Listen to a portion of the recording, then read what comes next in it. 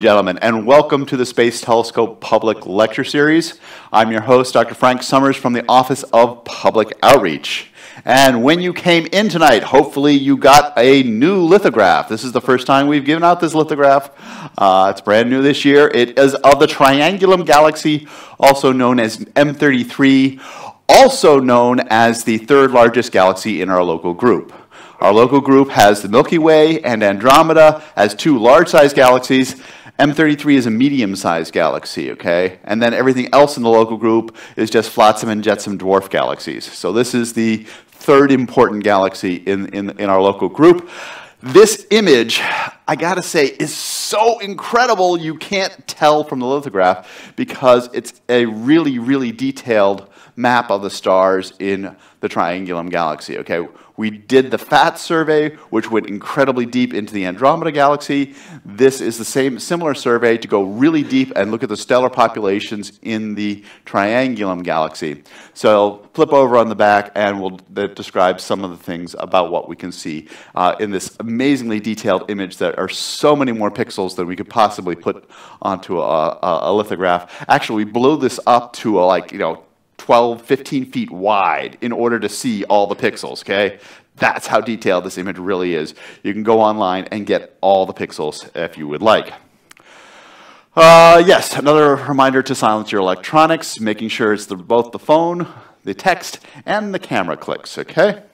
All right, tonight, red and brown dwarfs, understanding our smallest and closest substellar neighbors. I've been looking forward to this talk because these are the these are the guys that really matter. Okay, all the big bright stars that get all the attention. I think these are the stuff that real, that that really matter. Um, Serge Dieterich will talk about that. Upcoming uh, in January, we have the AAS meeting the first week of January, and we have, of course, you know, New Year's. So we are not going until the second Tuesday, January 14th. Okay, January 14th, second Tuesday. Um, Nimisha Kumari will be talking Cloudy with a Chance of Stars. Um, so this is just the general life of an astronomer who's observing, right? It's cloudy with a chance of stars. Uh, I'm not exactly sure what she's talking about. She hasn't given me an abstract, um, but uh, it sounds wonderful to me. Uh, February 4th is to be announced. Um, I'll have that uh, done um, by, uh, by, by, January. And in March, we have Nestor Espinoza talking about exoplanets, a search for new worlds. Now, for January, February, and March, you must know that those coming in live, the building will be under construction. The lobby is going to undergo a redesign, okay? Um, most of the building will be all just normal. It's just the lobby is going to, get, going to have a, a, a, total, total redesign. Strip it down, build it back up, okay? Which means that you probably won't be able to walk through the lobby to get into this, into this thing. There will probably be an alternate entrance. There will be signs posted, okay? So next month, February, March, look for the signs to see where you're supposed to enter, okay? Um, if you need wheelchair access, um, let us know because there, this is the wheelchair chair ramp to get into here. Uh, we can, they said they can set it up and make sure it works, but um, if you let us know in advance, that will help us uh, prepare for that, okay? And all right, um, our website for the upcoming lectures and other things um, is stsci.edu slash public hyphen lectures. Uh, easy for me to remember because uh, you know, some of the times we've had much, much longer uh, URLs here. Uh, so we have lists to our webcasts both on YouTube. Let's see, I got my spotlight remote here. There we go. Both uh, our YouTube playlist and our webcast archives. We have been doing webcasting since 2005, so that's 14 years of astronomical goodness for you to explore. Uh, people like to binge watch. Hey, let's binge watch astronomy. Um, if you would like notices about things, um, we have our lecture announcements. You can enter your email address here, hit that button, subscribe, and you will get once a month or twice a month uh, emails about what's coming up on our lecture series. We also have lists of the upcoming lectures. Um, and for each lecture, we have the details of it with the uh, links to the STSCI webcast up here and the YouTube webcast down here, okay? Uh, Uh, for email, I talked about the announcements. It's easiest to sign up at the website, but there are always people who don't want to sign up at the website and want to hand me a piece of paper. That's fine as well. I can handle paper. Um, if you have comments or questions, you can send them to publiclecture at stsci.edu. If you would like our follow us on social media, we're on Facebook and Twitter and YouTube and Instagram. I myself am on Facebook and Twitter every now and then. Uh, please do your social media thing as you as you like. Um, there will be no observatory after the lecture tonight. Uh, the, the prediction was for very cloudy weather, so they canceled it. However, as I always, I note that there are open houses on Friday evenings on the Maryland Space Grant Consortium website, right here, the observatory status every Friday evening by 5 or 6 p.m., it's updated as to whether they will be open on Fridays. So you can come and go up there and enjoy the observatories the nights that they are open. All right? So now our news from the universe for December 2019. First, a Borisov update. It's still fuzzy. All right, so what is Borisov? Some of you may not remember. Um, it is the second interstellar object that we have seen come through the solar system, or that we have identified coming through the solar system. Uh, and uh, you can see here that it is was originally called C2019Q4 Borisov. All right, but it is now officially designated down here in the corner as 2I 2019Q Borisov. Um, the C was a provisional designation. The 2I uh, says it's the second interstellar object. Uh, here you can see its path coming down through the plane of the solar system and shooting past. It's moving at a tremendous speed, so fast that the sun's gravity cannot hold on to it, okay? It's moving at least twice as fast, um, uh, and so it has escape velocity from the solar system. So this is a one and done, comes through the solar system, goodbye, it's just, just zooming past. All right, it shows us that things from interstellar space do come through our solar system. All right, um, and last month I showed you the picture of that Hubble got of, of Borisov on October 12th, and I said, well, you know, this is a very clear picture of a fuzzy object. All right, that was Hubble last month. This month we go to a picture from the Keck telescope, and it's still fuzzy. Uh, now, Keck, of course, is a ground-based telescope. Although it's a 10-meter telescope and can get has greater light-gathering power than Hubble, it is still, of course, on the ground, and it doesn't have as clear resolution. Um, but one of the things they, since they have greater light-gathering power, it can get uh, uh, a, a more of the tail. And so they also produce this image showing the Earth to scale. Yeah, um, that tail is really, really, really long. The tail of this comet is approximately 100,000 kilometers long. But they estimate that the comet nucleus itself, the ice ball that's actually spewing off all this gas and dust, is only about a kilometer, okay? So the tail is 100,000 kilometers. The ice ball is about one kilometer. We're never going to see that, okay? It's always going to be a fuzzy thing, okay? Unless you fly up to it, um, you're not going to be able to see that small little ice ball in there. So uh, all of it will be um, that way. All right, so the coming attractions for this uh, this weekend, uh, uh, it hits perihelion five days from now. Uh, it will be 300 million kilometers from the sun. Uh, perigee is on December 28th. It will be 290 million kilometers from Earth. Um, so it never gets really close to any, any uh, either the sun or, or, Earth or actually any planet for that, for that matter.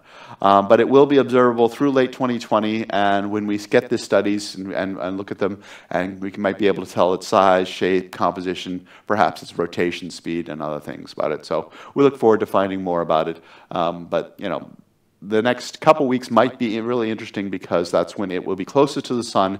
The gases will be evaporating the most. Um, right now, the word is it looks pretty much like any other comet. It's hardly distinguishable from a normal solar system comet. That's what I've heard. Have you heard anything else, Serge? I have not. No. yeah. Yeah. So, um, although it's interstellar, it seems to be so far uh, pretty pretty normal. Okay. All right. Our second story: Raiders of the Lensed Arcs. Yes, I have no shame in the puns I will try and pull out, okay? All right, so galaxies. Galaxies come in these giant clusters. This is the Hercules cluster consisting of about 100, 200 galaxies. These galaxies can pile together, not just in tens and hundreds, but even in the thousands. And when you get a lot of galaxies together, they pull together and they have a tremendous mass. Now, for those of you who took your general relativity class in elementary school, uh, mass warps space, okay? You put a ton of mass together, it warps the space, and then the light traveling through warped space changes, okay? All right, and we see that in the most massive galaxy clusters. So here, for example, is Abell S1063. And there's so much mass in this galaxy cluster, the space is really warped. And then you can see these streaks here, all right? And those don't look like normal galaxies. Well, they aren't. No, well, actually, they are normal galaxies, but they, the, the, the light has been stretched due to gravitational lensing. So, a normal galaxies, light comes through this warp space, it comes out as this streak. We call these gravitationally lensed arcs, okay?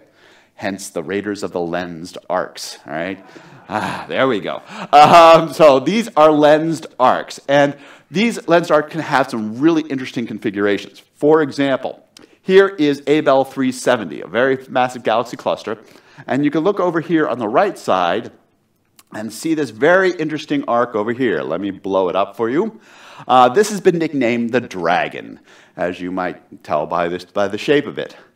Uh, and you can see that it's a very long and sinewy type shape. But what it really is, is actually multiple images of the same galaxy.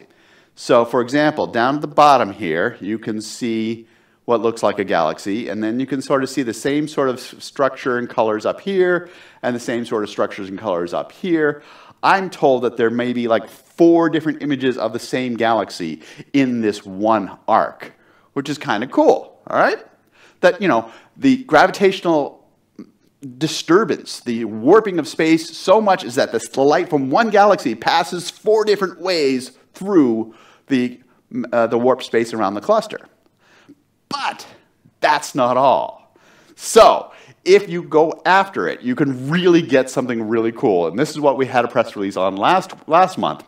Uh, galaxy cluster PSZ1 G311.65-18.48 we'll just call it Betty, okay? So Galaxy Cluster Betty um, has a really cool feature in it that it um, has these interesting arcs. Um, there are four of them, and they're called the sunburst arcs, okay? And these sunburst arcs contain, let's blow up uh, two of them here, right. You look along those sunburst arcs, there are more than 12 images of the same galaxy across these four arcs. All right, now the cluster, cluster Betty, um, is about 5 billion light years away.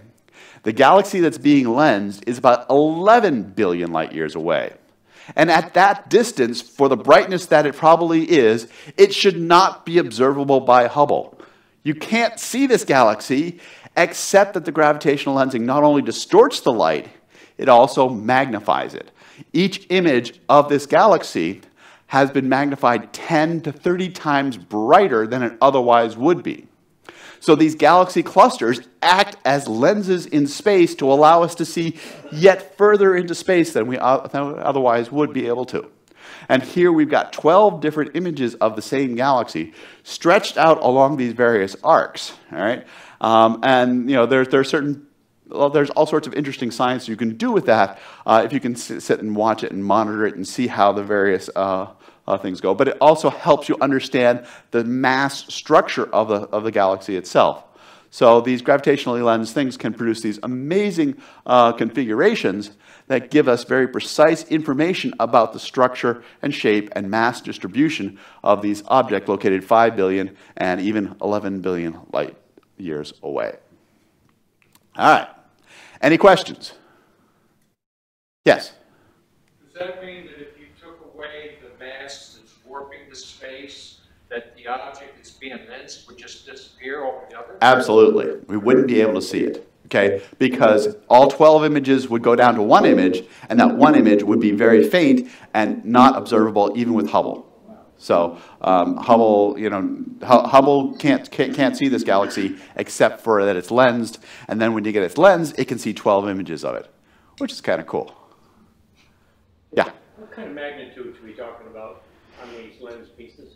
What kind of magnitudes are we talking about? Um, Hubble routinely goes down to 26 magnitude to on such. This isn't a really long exposure. Where we can get to 29th magnitude um, on the really long exposures, so, but this has got to be mid 20s. Uh, in terms of magnitudes, Serge is nodding his head. He's an observer. I'm not. So he doesn't know anything about galaxies. There's not. There's no. There are no stars here, so he's not going to comment. but for the um, for the for the really deep surveys, we can get down to 29th magnitude. These have got to be more like you know 25, 26, I think. Okay. All right. Well, let's move to our featured speaker. Um, what are you under? What number? What number are we under? Four.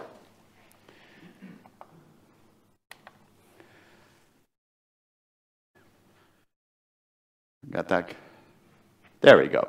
Our speaker tonight is Serge Dieterich, who started out his academic career right across the street at Johns Hopkins. Uh, then he left us to go on down to Georgia State to do his graduate work, uh, where he worked with uh, Todd Henry and the RECONS uh, folks down there who've done some amazing work for like it's almost 20 years, right? Yeah, it's, uh, I've been following that for quite some time. Uh, he did a postdoc at the Carnegie Institute, and then decided to finally come here where he belongs. Uh, he's been here for eight months working in INS on the COS uh, uh, uh instrument. Uh, so, ladies and gentlemen, to talk about the, the small stars in our galaxy, Serge Dieterich.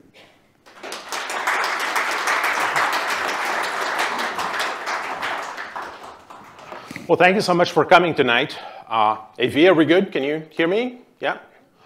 Okay, uh, so I'll start by saying my, my very first night in, in Baltimore was I, I came for college orientation, across the street, and uh, I, I knew, liked astronomy, liked physics, and so the thing to do was that there was one of these lectures here. So that was my, my very first activity in Baltimore was attending one of these lectures. I'm not gonna say how many years ago, but I, I do see some young people in the audience, so should you, show, should you so choose, I hope to be here 20 years from now when you're working here. And that, that, that is a, a real option. This is a, a very welcoming place. So, okay, so today we're going to talk about something that we don't hear a lot in this institute, which are uh, low mass stars.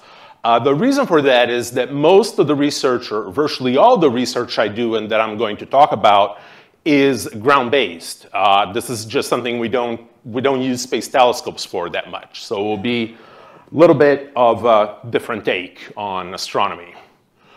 So uh, the first third or so is going to be a little bit of a classroom lecture style. We, we need to get to understanding what a star really is. Uh, you've all seen this image. It's one of the most famous images by Hubble. It's the Pillars of Creation. And what we're seeing there is basically the, the, the collapse and contraction of interstellar gas to form stars. And once the gas collapses and, and contracts enough, it gets hot enough to ignite nuclear fusion. A star is born and the material eventually dissipates, and we're left with free-floating stars like the sun and the 100 billion plus stars that we have in, in our galaxy. This here is a simulation by a theorist called Matthew Bate uh, out in, in the United Kingdom. And this is, is, going to give you a computer rendering of what, uh, what the star formation process looks like. So this is a blob of 500 solar masses. And I'm going to press play now, and that blob is going to collapse and make itself into stars.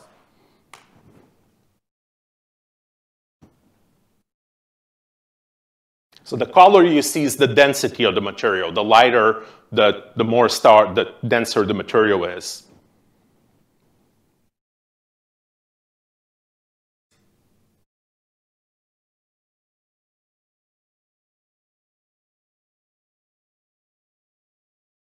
You see the first star just formed. And pretty soon they're going to be all over.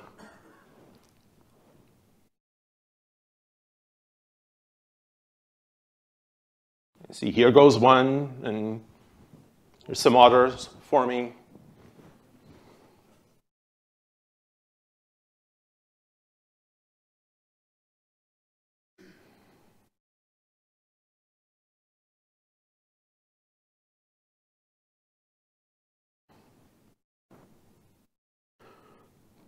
So the video is too short, so we're going to play it again.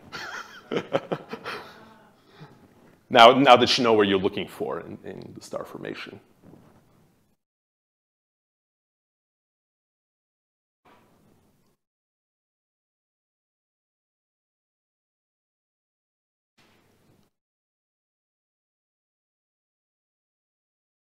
And this, I, I heard the years, this entire simulation uh, covers about 200, the first 200,000 years of star formation. It's a very, very short time, uh, cosmologically speaking.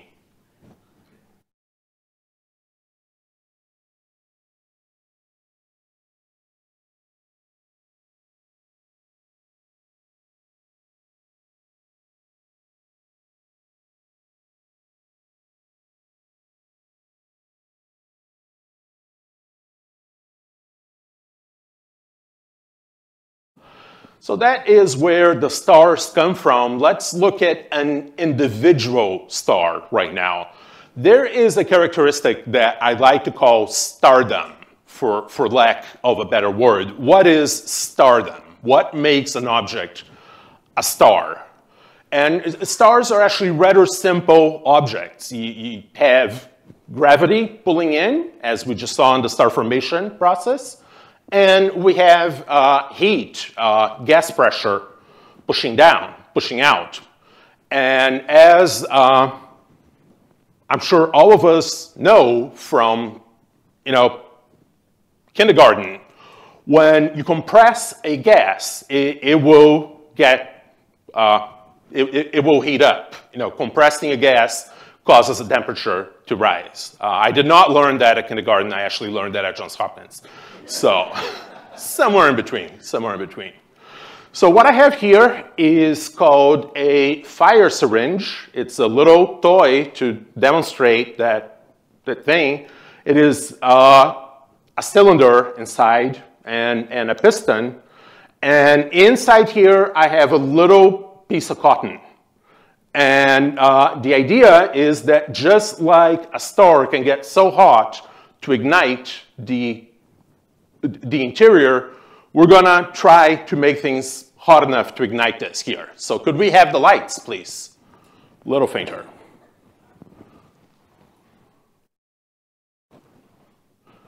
This only works about 50% of the time, so I'm taking my chances here. So, um,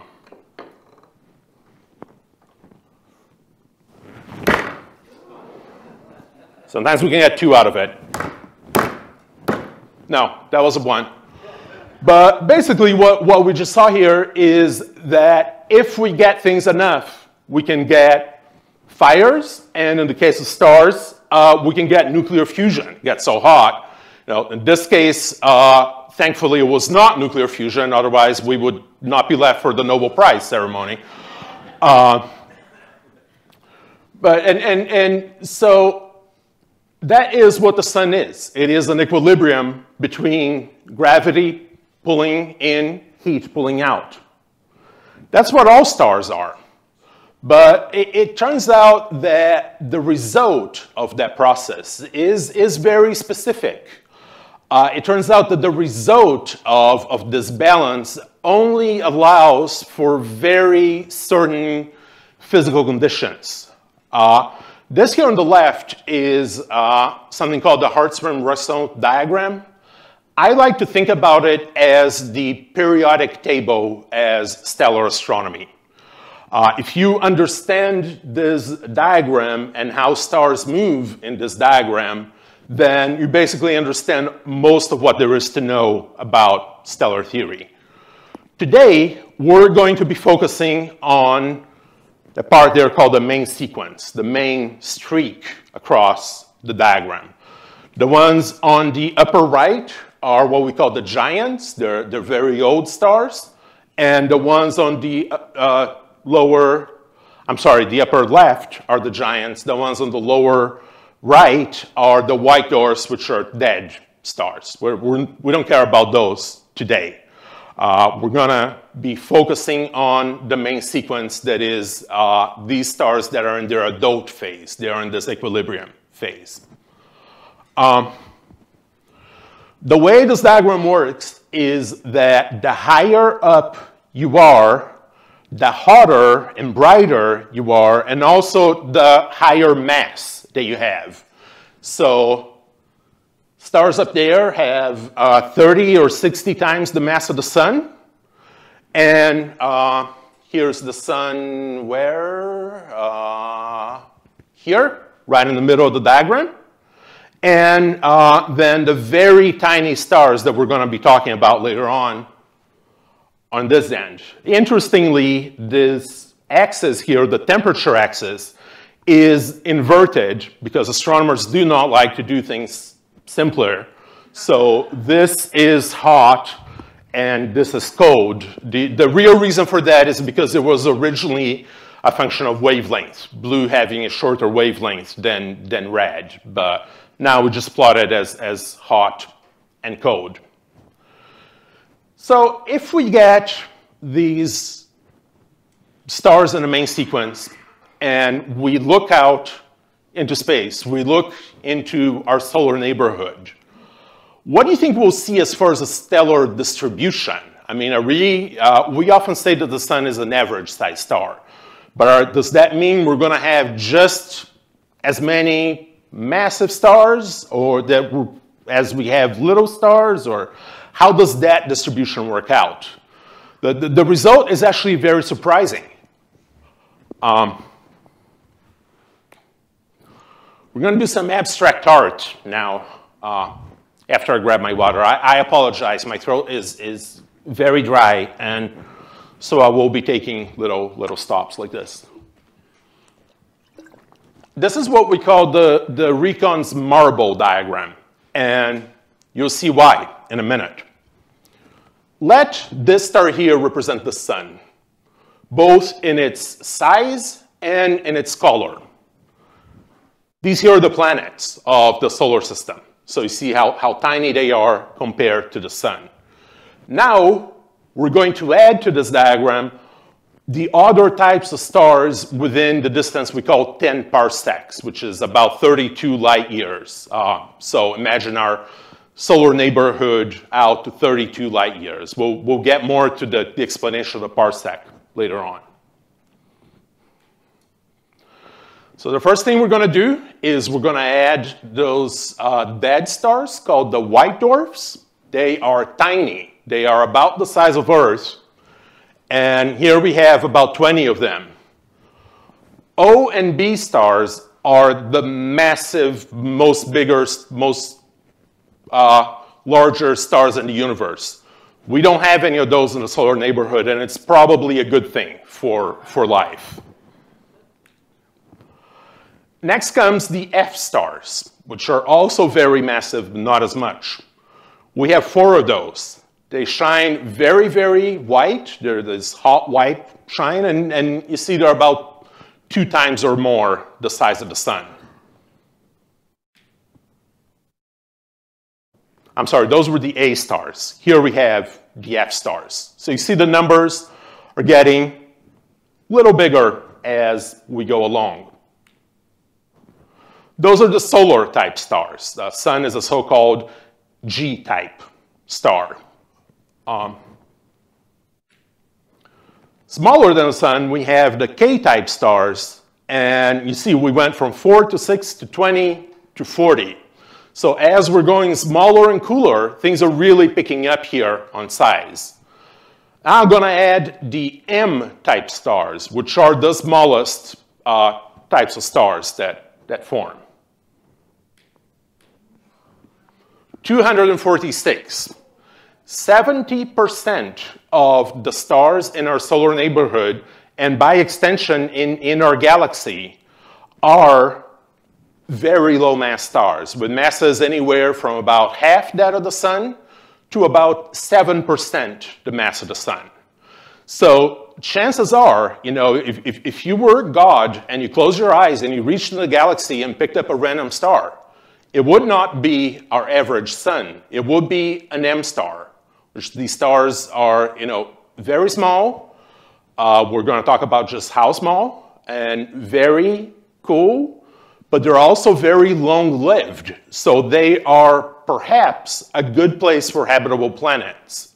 Perhaps. There, there's debate on that.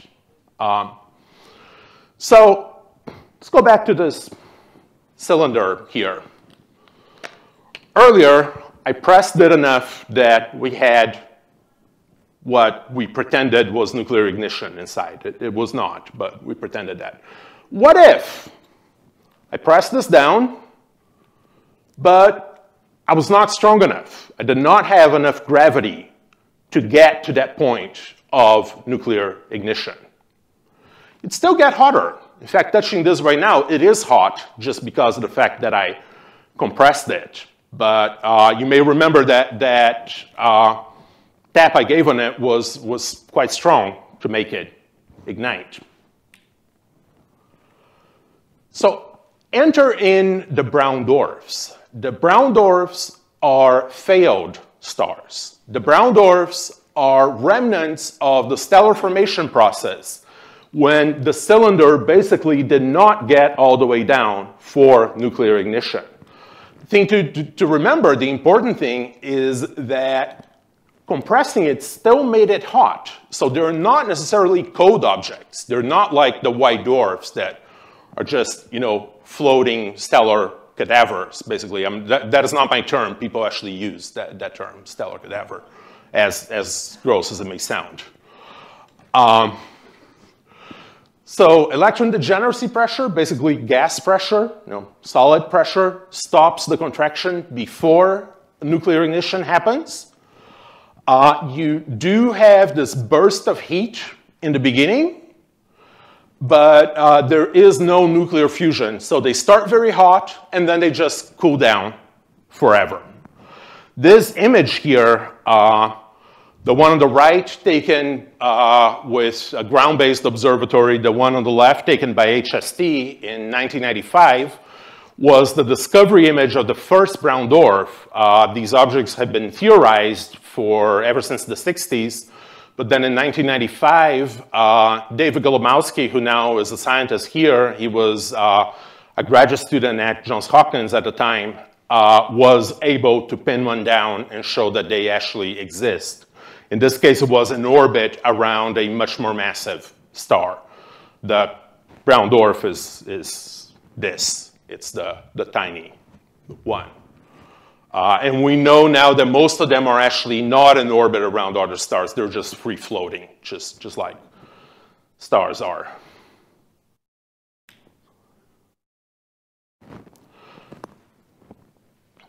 So, and they, they get to be really small. They get to be about the size of Jupiter. And uh, their radius is actually mostly constant, doesn't vary much, but the weird thing about them is because of their internal physics, when you put more mass into them, they actually shrink. They get more compressed. So they're very weird objects, and we still don't fully understand them. They are difficult to study because they are so faint as, as well. Let's look at the bottom here first. Uh, those are just artist conceptions of what these objects would look like. An M star is uh, one of those very small stars that I mentioned, would be sort of a yellowish, reddish, orangish color. We think that they have a lot of spots on them. There's the, the bands of spots here. And then for the brown dwarfs, we classify them in, in three different letters of the sequence. We have the so-called L dwarfs, which are hotter brown dwarfs.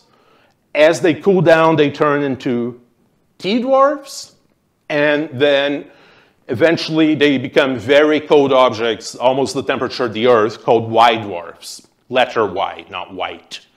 Where do these letters come from? This, uh, I, I know the person who picked those letters. They literally opened the index of an astronomy book and saw which letters were left.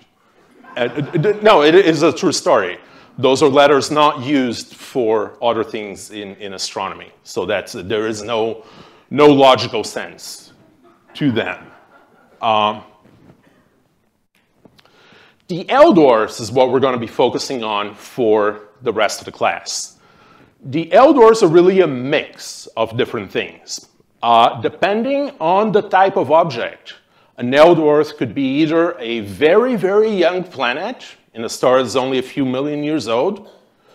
It could be a very low mass star, uh, an object in which nuclear fusion does happen, or it could also be a young brown dwarf. So the question is, you know, like if we have this overlap of objects, how do we distinguish them? How do we know where the stars end and where the brown dwarfs begin? That is actually the science question for this talk. That is, uh, this was the topic of my PhD thesis. It's what we're going to be addressing here. I'm going to read this question a few different ways. No, you don't have to read that because you've read it, but another way of saying this is what is the smallest star?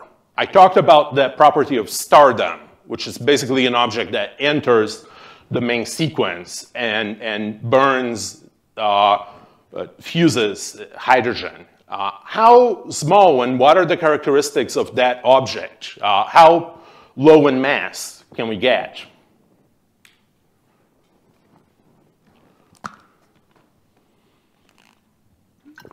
I mentioned earlier that the HR diagram is the periodic table of stellar astronomy and if you're going to know anything about a star, you need to first understand how it fits in the HR diagram.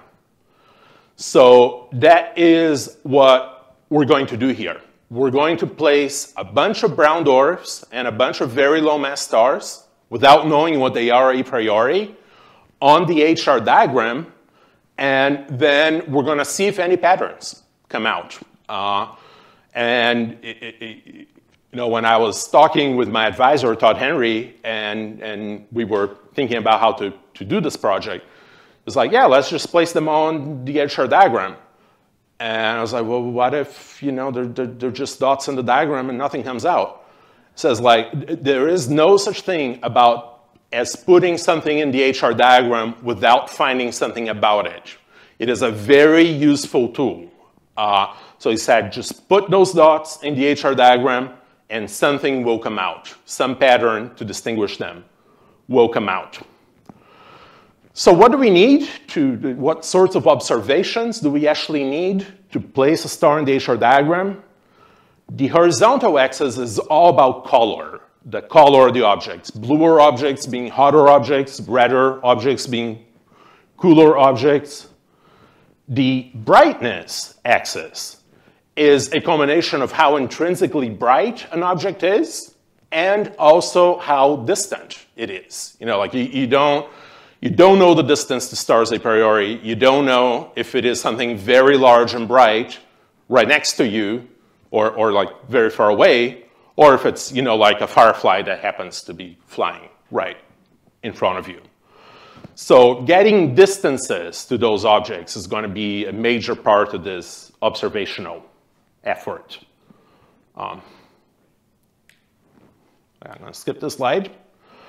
So I was thinking about what to actually present as far as the observation goes, and, and, and I thought like, okay, well, I could borrow, I could uh, bore these folks with a lot of mathematics and all things like that, or we could talk about something much cooler, which is observatories.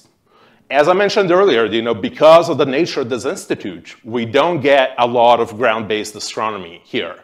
So uh, I'd like to take a break from the science now and very quickly tell you what observatories are like, because they're really magical places. They, they are truly wonderful places. If you ever have the opportunity to visit a professional observatory, I highly recommend it. Uh, this work was all done in Chile, it turns out that having high mountains right next to the ocean makes for very stable atmosphere. The places like that, or California, which unfortunately is light polluted, Hawaii, which is another very good observing location, and the capital of observational astronomy actually is Chile. Uh, it has all major observatories or all major institutions, ground-based observing, have observatories in Chile. So these are two of the telescopes that I used. Uh, these are some images from uh, Cerro Tololo Observatory. That is the US National Observatory for the Southern Hemisphere. So the US actually has a partnership with Chile. US goes there, uh, you know, pays for everything, runs for everything, and Chile, as the host for welcoming us, gets 10% of the time on the telescopes. So Chilean astronomy is, is actually very active because they have 10% of the resources from really all over the world. All countries are putting those telescopes there, and they don't have to fund any of it. You know, they, they just get it for, for being good hosts. Uh, this is the top of the mountain. It is at roughly 8,000 feet. The top of the mountain is basically chopped off. And there you have the, the several telescopes. There are about 20 or so telescopes in, in this observatory.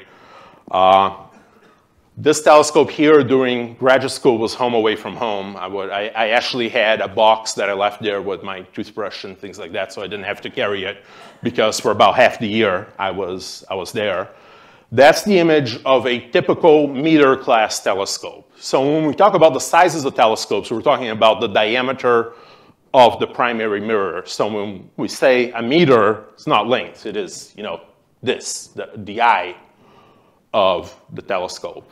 And one of the really cool things about these small telescopes is that the astronomer still gets to use it for him or herself. You still get to actually press the buttons and tell the telescopes where, where to move. You know, like I, I do work here. They do not let me do that with Hubble, unfortunately. um, but even in larger ground-based telescopes, the telescope will itself be controlled by an engineer, the telescope operator, and then you will be controlling the camera at the end of that telescope. In, in this telescope, you know, if it breaks, it's my problem because I'm, I'm the only one there. I have to, to be able to do everything. Uh, just another pretty picture where uh, this is looking towards the Andes, so towards Argentina and the back of those mountains. This was summer. Uh, if it was winter, it would be all covered in, in snow. Um, going a little bit further north, this is uh, an observatory called Las Campanas, where I did my first postdoc. Uh, these are panoramic images, but you can see that it is above the clouds. Uh, most days you will wake up and you will look down at, at the clouds. And it's, it's a wonderful experience just to, to be in a place like that. And, uh, you know, you look in the satellite image and you say like, oh, it's cloudy, we're not gonna be observing tonight. And you have to realize, yes, it is cloudy, but the clouds are below you. so. this is uh, Another image of a typical meter-sized telescope. Again, the, the, the telescope that, you know, is great for training students because in order to use a telescope like this, you actually need to know where the sky is. Like you, you need to know where your star is and, and which way you're pointing. Like you ask people who use Hubble, you know, like, is your target in the northern hemisphere or in the southern hemisphere? Well, Hubble covers both hemispheres every 90 minutes. I mean, why, why would you care, right? So it, it is a connection that you get to nature, to both Earth and the sky, that you, you just don't get with space-based astronomy. Space-based astronomy is, of course, much more powerful, but it's, it's not as fun. Okay, I just said it. So these, these observatories are like small cities. The people who work there are usually there for about, or for exactly a week of, uh, a week on, a week off. They work on shifts. And at any time, you may have about 100 people or so working there. This is uh, looking down to what we call the lodge. This is the dining area and all the dorm rooms. And uh, this is basically where the party happens. You know, like we're, we're saying this is a geek fest. Well, we don't have anything on these observatories. I mean, imagine going there, being away from family, away from everything, and just with your friends, eating, talking, and observing, and not really worrying about the results too much because you're going to do that when you get back to your office. So it, it is a very fast-paced life, but it is uh, it, it's a lot of fun. And uh, in this case here, those were all my friends who I usually only see when I go to the observatory. So uh, it, it's just a very inspiring place like that. Uh, we do not use gasoline or anything like that. We use coffee.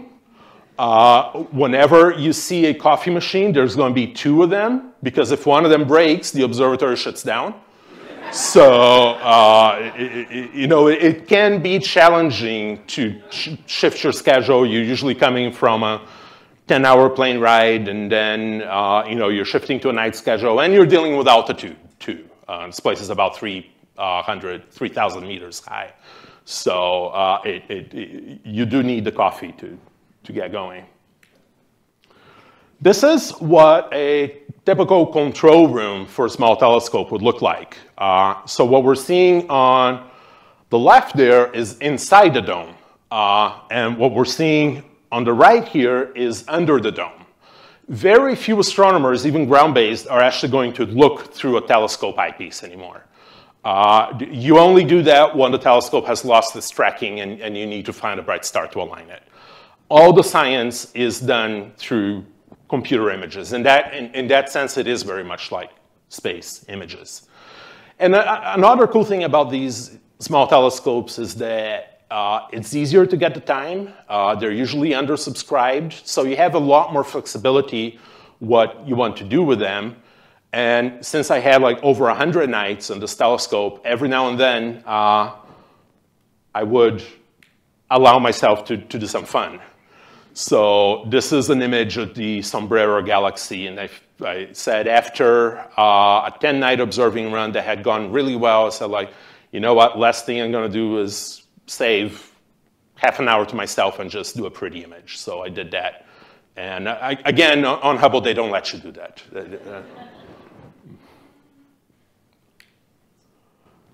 So I see by the, the age here the crowd that you, you're going to laugh at me, right? But and just as I was leaving, they said, like, oh, by the way, all the cars in the observatory are stick shifts. And so this was in a, a lunch table. And half of us were American, half of us were European at the table. I asked everyone, and, and the division was stark all Europeans said that I had to pay an instructor and get a week's worth of classes before I would go. The Americans like, ah, just go, you figure it out.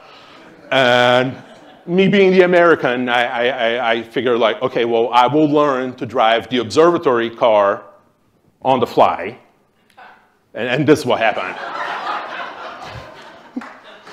so this is the, the, the very first impression I made on the observatory. and they still asked me back, so it was good. No, no one was hurt. I was actually not in the car. I was pushing the car, and the car started, so yeah. This was not a good night for observing. This was a very pretty sunset, but we call sunsets like this consolation prizes. It's like, okay, well, we're not going to observe tonight. It, it, might as well be pretty. Um, this little guy is called a vizcacha. It is a relative of the chinchilla, and it lives in the Andes. It is about this big, so it's kind of like a big bunny with a squirrel tail. And the cool thing about them is that they actually watch the sunset. They live in these crevasses in the rocks, and they come out for the sunset, and they will just stand there. I mean, who knows if they're actively watching it or not, but um, Another nice fauna that we have there is, this is a guanaco, which is a wild llama. So, and this is actually a video, so, so we'll play. It's my neighbor uh, right outside my dome. I uh, came out one day and there he was.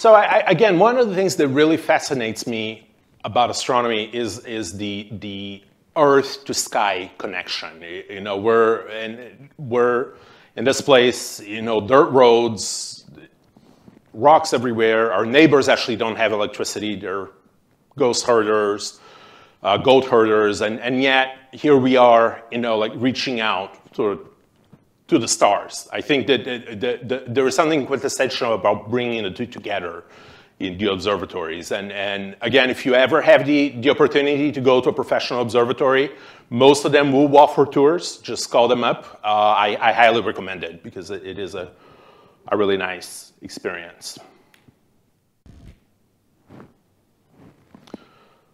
But breaks over, back to the science. Um, so I mentioned earlier that we needed to know both how bright those stars are and the distances to these stars in order to put them in this axis here.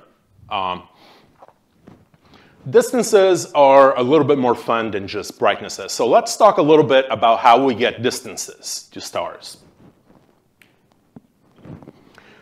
May have heard this before. It's a technique called trigonometric parallax, and it, it is just simple geometry that goes on it.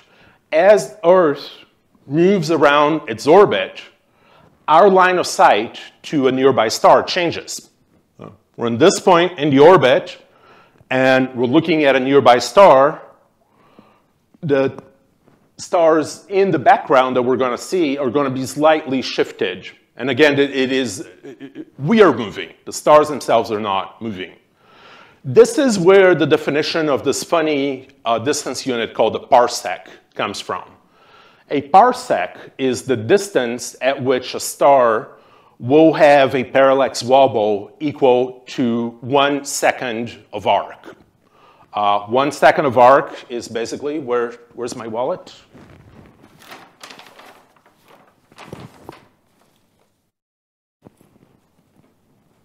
Sorry, should have kept it. But if you have a credit card and you look at this thickness from about a football field away, that is about one second of arc. So if you were in a football field away and my credit card would be doing, no, barely moving, that is the, mo the movement that you get at a star one parsec away. But better than talking is doing. Uh, so now we're going to do uh, your own parallax measurement. And for the people online, I apologize that this will probably not work as well as it does here in the audience. But so now, for the beginning, what I'd like you to do is extend out your finger and pick any number in the ruler, cover that number with your finger, and then blink your eyes. Look at it first with one eye and then the other. And you will see that the position of your finger moves. Of course, uh, your finger is not moving. It is just this line of sight thing.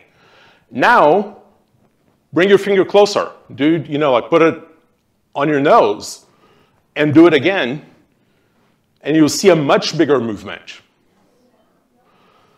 That is basically how we measure distance to stars. There are other methods, but they are all calibrated based on this method. This is the only direct method. Everything else uses this as the base. So, of course, if it was as easy as looking at our finger, you know, like life would be easy. Uh, it turns out that this effect is right at the edge of what we can measure with telescopes. Parallax is worth measuring are you know, extremely small and convolved with many other optical factors. You need uh, very good uh, cameras to do this. Uh, so this is me measuring a parallax remotely. This is my office in Washington, D.C. when I was a postdoc. This is the telescope in Chile. And what you see on the bottom uh, left image there, this uh, gold bottle here, Dewar, is actually the instrument, the camera. Uh, all astronomical cameras work at very cold temperatures uh, that increases their conductivity and reduces noise. So they all work in, in dewars or bottles filled with liquid nitrogen. So, uh, and in Chile, there will be a telescope operator, an engineer that is communicating with me through Skype and is moving the telescope, and I have the camera controls through the internet. And so one of these stars here is the one I'm trying to measure the parallax for. And all the other ones are the reference stars. They are the background stars that uh, are going to be the numbers in, in the ruler there. All right, I see we're going low, so I'm going to skip a few. So what are the results once I put the parallax together? Uh, I mentioned that between this slide and the previous slide, a PhD thesis occurred. That's because I don't actually want to bother you with all the mathematics of, of how we go from those observations to actually having an HR diagram. But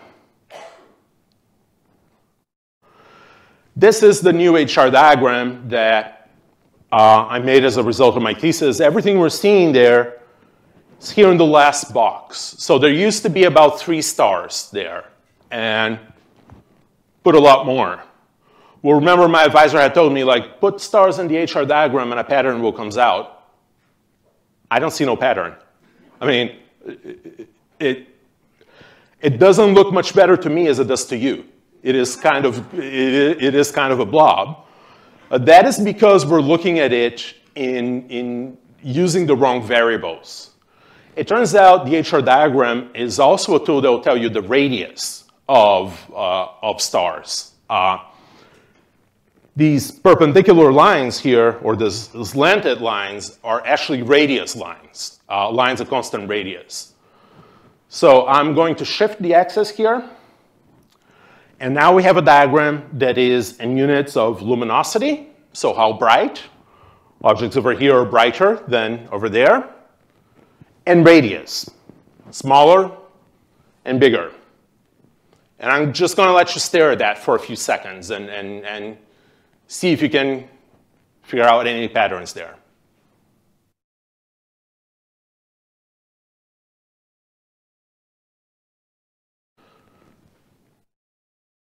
So what I'm seeing is that we have a sequence that is coming down. That is the main sequence we talked about. And then we reach a minimum radius at that point there. And then we jump back to cooler or fainter objects but higher radii. Let's go back to the toy star here.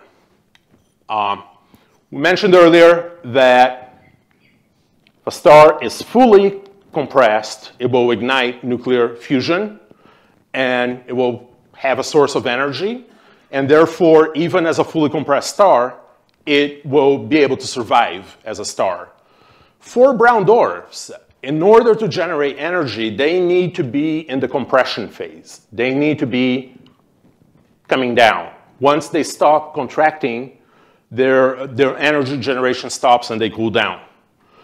So the interpretation that we did here is that these are fully contracted stars and these are the brown dwarfs because uh, that are still shining because they are in the process of contraction.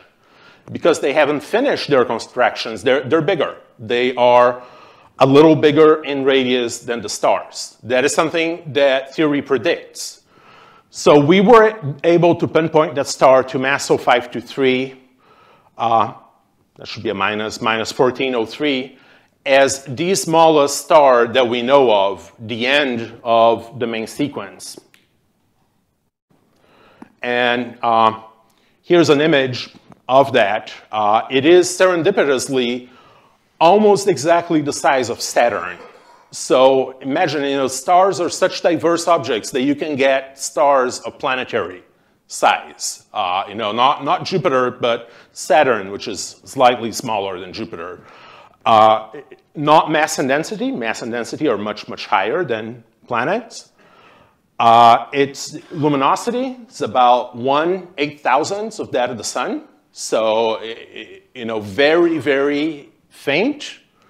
And if you're an amateur astronomer, you could find it in, in Lepus, right under Orion. Now, uh, this image here has a funny story. When, when this paper came out, I got a call from Sky and Telescope. They're like, we, we really would like to see the image of this star. It's like, oh, sure, no problem. So send me your email. I, I, emailed them the, the discovery image from the telescope. And then they were like, oh, no, we meant a color image. Do you have a color image? It's like, uh, no, that, that, that's not what we do. Like, we don't work in colors. Just don't, don't have a color image. Uh, well, we really want a color image.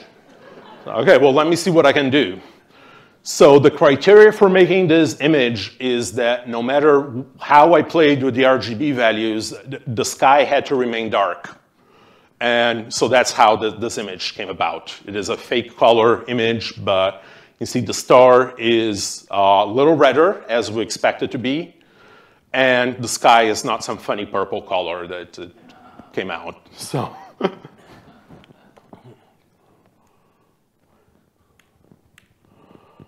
Okay, so uh, I will skip a little since we're late into how we actually measure masses for these stars. Uh, it turns out that masses can only be measured if you have two stars in a binary system. Uh, gravitational attraction is a function of mass, and it's really the only way to tell uh, you know, how massive the stars actually are. So one of the predictions that we made with that star is that that star turned out to be much cooler than uh, colder in temperature than what some of the models were predicting for uh, very low mass stars. And so we made a prediction that if we were to find the mass difference between stars and brown dwarfs, it should also be different than what the mass that the models were predicting. So we found uh, this star called Epsilon Indi. It was a binary system. And we measured its orbit with, uh, again, ground-based tools. And then when we combined the orbit, the, the, theoretical orbit, to the image, we were able to get masses. And uh, the mass that we got was a mass of 75 Jupiter masses for brown dwarfs when models were saying that those masses should be anywhere from 73 to from 70 to 73 Jupiter masses. So this is the discrepancy between models and theory that we were investigating and it's a challenge for the formation scenarios and for the cooling scenarios for brown dwarfs. And uh, we're still investigating why that is and why is it that we don't really understand brown dwarf evolution at this point and why is it that when you know, models are telling us brown dwarfs should be one temperature, uh, observations are telling us a different temperature and a different mass. So that is an ongoing uh, area of study here. Uh, I have more on that, but I'm actually not going to show you because we have another neat movie. Uh, this is a movie of all stars uh, within about 100 solar year, uh, 100 light years or so from us. It is made by uh, a friend of mine who also works here called Edric Rito. And he is an artist at uh, computer graphics. So um, what we'll see here is an animation going out from the sun looking at the nearby stars, and then going back.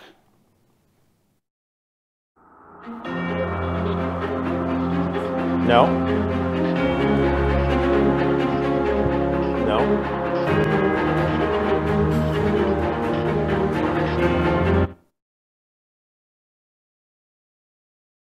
I need to get out of this.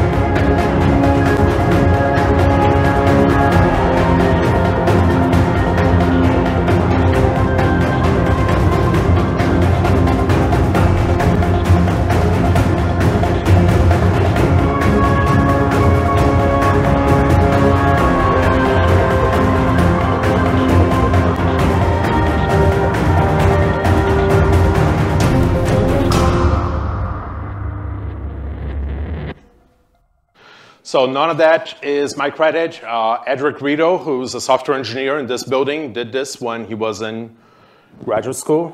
And no, we don't want to see the next YouTube video. Uh, I'll put this back up. Uh, I guess the next YouTube video is playing. Okay. So conclusions, uh, we know where the brown dwarfs are and where the slowest, the uh, least massive stars are right now. We've pinpointed one star. Uh, and we say that is the least massive and smallest star that we know of. We are still studying them as a population.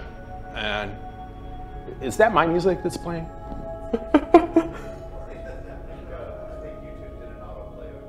I see. Okay, sorry. Uh,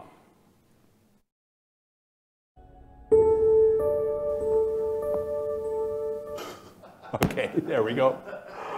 Uh, one last thing I wanted to show you. I know we're uh, going over, but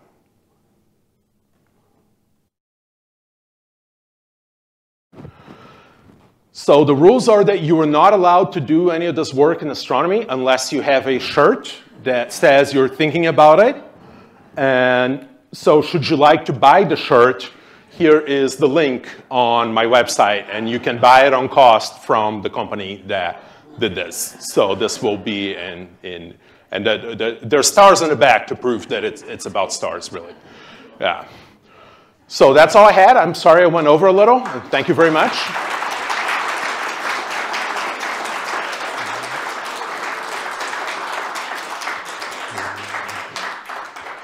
Questions? First, yes. So I noticed on one of the last screens it was talking about singles, binary, triples, and Right. quads or whatnot. Um, Are the low mass stars, do they hang out with other low mass stars, or are they as likely to be with any other weight? Very good question. Uh, and the answer is that as you go down in mass, the tendency to be binaries uh, decreases. So for the very high mass stars, they're eventually all binaries. When you get to the very low mass stars, there is about 30% binarity. And when you get to the brown dwarfs, it's only 20%. I heard somewhere that um, the brown dwarfs uh, will last for a trillion years, that they won't burn out because they have formed some sort of equilibrium. Is that true? So that is true for the very low mass stars, not the brown dwarfs. It's a, ne- a very interesting point that for very low mass stars, when you reach that equilibrium phase, they're predicted to last longer than the current age of the universe. So no low mass star, no M dwarf has yet evolved to its adult, to, to its old age. They're all still adults. Now for brown dwarfs, they will be continuously cooling down. So uh, brown dwarfs don't have stability. They, Yeah, that was a question that came up online. Um, so brown dwarfs shine while they're contracting. How long does that contracting phase last? Do we have a good estimate of how long they will shine? Right. Uh, so it depends on, the, the answer to that question depends on how powerful your telescope is and what you consider shine to be. Uh, in this phase where they are shining so bright that they're being confused with stars, that is uh, about the first one and a half billion with a B uh, giga years for uh, brown dwarfs. The real zone of confusion is about 600 million years. Once you get to several billion years, they uh, get very cold and undetectable. Well, my follow-up question would be, this gives uh, the low-mass stars where life can evolve around them because they last so long. Um, the planetary systems would be stable enough t- for life to evolve. Is that correct? Uh, well, uh, that's a million dollar question. uh, and there are two camps to that. Uh, the, the one camp is exactly what you said, that you know, that they are uh, very good candidates for life because of their stability. They also do tend to harbor rocky planets. We know that. Uh, the flip side of the coin is that these uh, stars are not very photometrically stable. They tend to flare a lot, and they tend to emit a lot of X-rays and UV radiation when they flare. And because they are so faint, a planet in the so-called habitable zone would have to be very, very close to the star for it to be warm enough. So we would be very susceptible to those flares. Uh, that is actually an active line of research for me right now. I'm trying to understand their flaring rates by trying to get a handle on their spot patterns. Are they very spotted or are their surfaces more evenly spread out? Good catch. How does the fusion of deuterium factor into the life of a brown dwarf? That is an excellent question. Brown dwarfs are objects that can fuse deuterium, but Sure you- cannot fuse light hydrogen. Yeah, you make, make sure people know what deuterium is. Right. So deuterium is uh, sometimes called heavy hydrogen. It is uh, a hydrogen has a nucleus that's just one proton. A deuterium or hydrogen 2 has a proton and then a neutron right next to it. So it is uh, twice as heavy, and that extra neutron intermediates the fusion process and makes fusion much easier to, to happen. Right, so deuterium fusion happens at a lower temperature than hydrogen fusion. Deuterium fusion happens at a much lower temperature, and brown dwarfs can burn deuterium, yes. But the, the, the thing is that there's so little deuterium compared to hydrogen to begin with that that burst that they get from deuterium burning called the deuterium main sequence is very short-lived and not very consequential for the evolution of the object.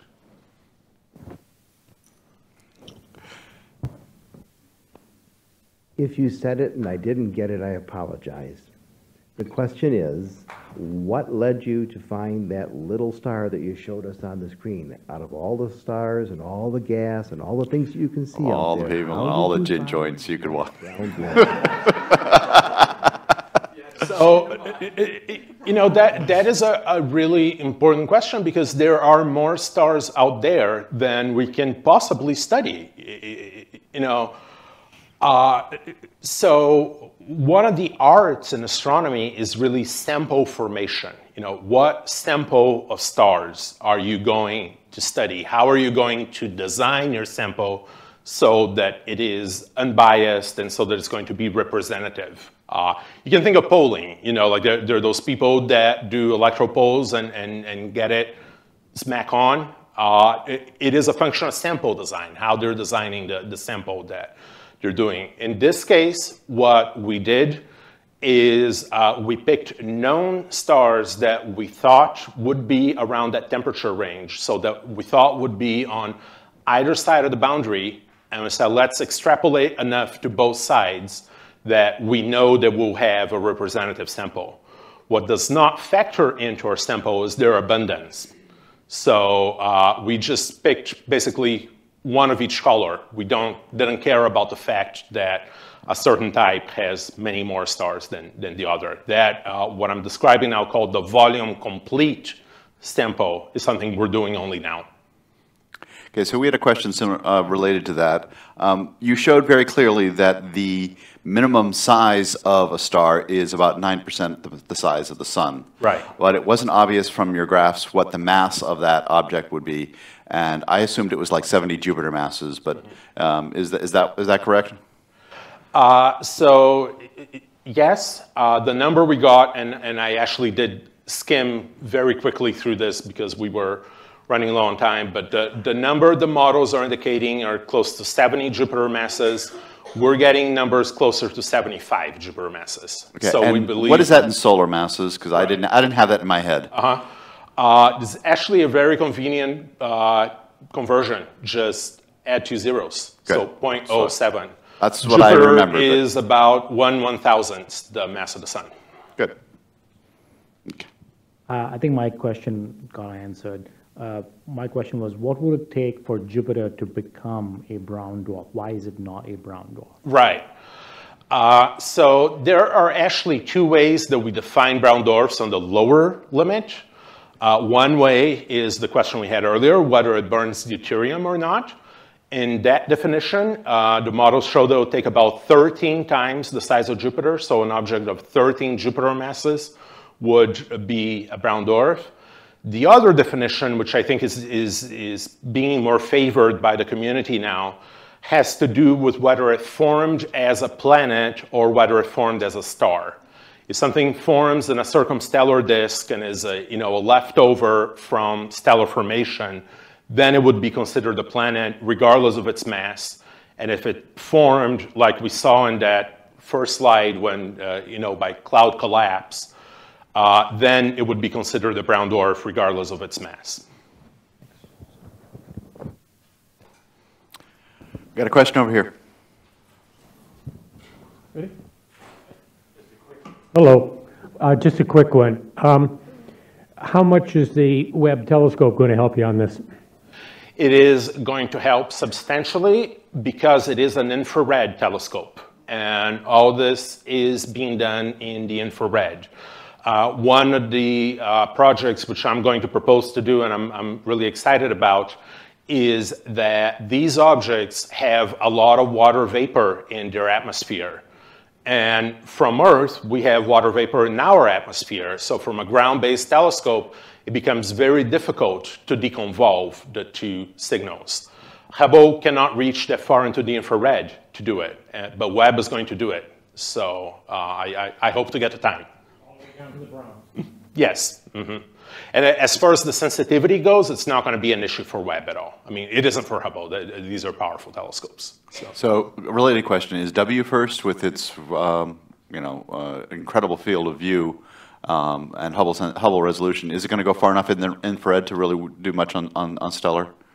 Yes. Uh, so this is a, a really interesting, and we actually made a case for WFIRST for this is that this smallest star that I showed here was 10 parsecs away, or thereabouts. I think it was 12 parsecs. WFIRST would be able to pick up that star in a crowded field in a full quadrant of the galaxy. So we're talking about one one thousandth of the galaxy. WFIRST would be able to do, you know, a fourth of the galaxy in survey mode. It wouldn't even have to, to be pointed observations. So it would be a very powerful tool for this. Yeah, if you don't know, WFIRST has, you know, what, 300 million pixels per observation, um, but with Hubble resolution, and it is an infrared telescope, but it's a survey telescope, so it's going to ah, it's going to increase the data rate by a very large amount around here. Well, some of the time is going to be dedicated for, for PI searches yeah. as, as well. So, yeah. All right, one last question. Anybody got it? Okay, if we don't have a last question, let's uh, hold on. We're not going to thank our speaker just yet. We have to remind you that next month we will probably have construction in the lobby. Look for the signs to see where the entrance to the building is. Second thing, we're January 14th, the second Tuesday, all right? Not the first Tuesday, the second Tuesday. I'll be in Hawaii on the first Tuesday. You're welcome to come join me there, but that's where the AAS meeting is. And finally, let us thank Serge for a wonderful talk.